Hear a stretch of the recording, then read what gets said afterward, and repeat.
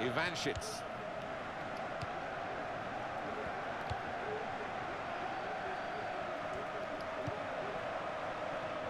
And now the shot! Off the bar and in!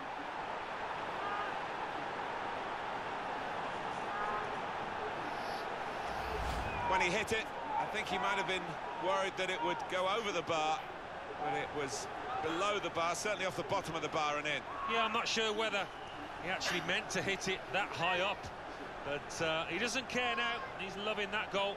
And here is another angle on that goal.